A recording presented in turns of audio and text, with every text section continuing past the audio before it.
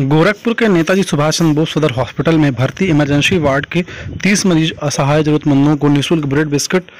पानी का बोतल वितरण किया गया। कोरोना संकट काल में जरूरतमंदों की सेवा करने का बीड़ा उठाया है। संगठन ने कुलदीप पांडे ने बताया कि हमारे द्वारा युवा जनसंघ कल्याण समिति द्वारा लगातार लोगों के कल्याण के लिए जन सेवा सुपर थर्टी मुहिम चला करके निःशुल्क भोजन, खाद्य सामग्री इत्यादि वितरण किया जा रहा है। M TV bureau report. आज जो है सदर हॉस्पिटल जो अभी इमरजेंसी वार्ड है, आज भारतीय युवा जन कल्याण समिति का जो हम लोग का मिशन सुपर थर्टी चल रहा है जनमानव सेवा का तो आज ये विचार हुआ कि जरूरतमंदों के साथ साथ जो है, जो मरीज़ हैं हमारे, जो पेशेंट हैं, चाहे नॉर्मली जो इमरजेंसी वार्ड में है, चाहे कोविड पेशेंट हैं, उनको सामर्थ्य अनुसार आज जो है फ़िश जो है पैकेट जो है बोतल पानी और बिस्किट साथ ही साथ ब्रेड का जो है वितरण किया गया है। पुलिस कार्यों में जो निरंतर ये भारतीय युवा जन कल्याण समिति जो अपने कार्य पर जो अग्रसर है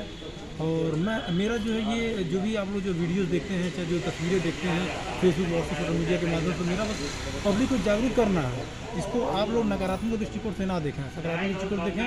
अगर मैं इंडिविजुअली अगर समाज सेवा के क्षेत्र में मैं अपना जो है प्रयासरत हूँ तो मैं चाहूँगा कि जितने भी समाज के सामर्थ्यवान व्यक्ति हैं, वो अपने सामर्थ्य अनुसार सहयोग ज़रूर करें। हॉस्पिटल में जा कर के ज़रूरतमंदों को जो असहाय लोगों उनको सहयोग करें। तो आज जो है ये जन सेवा सुपर थर्टी मिशन का करीब चौथा दिन है और काफ़ी अपने आप को अच्छा अनुभूति हो रही है कि मैं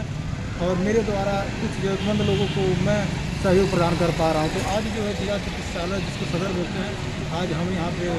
आए हैं और विभिन्न जो है कोविड पेशेंटों से आज और अन्य जो जनरल जो पेशेंट हैं, जो इमरजेंसी वार्ड में हैं, उनसे आज मुलाकात हुआ, उनके स्वास्थ्य की भी मैंने ईश्वर से कामना किया साथ ही साथ उनको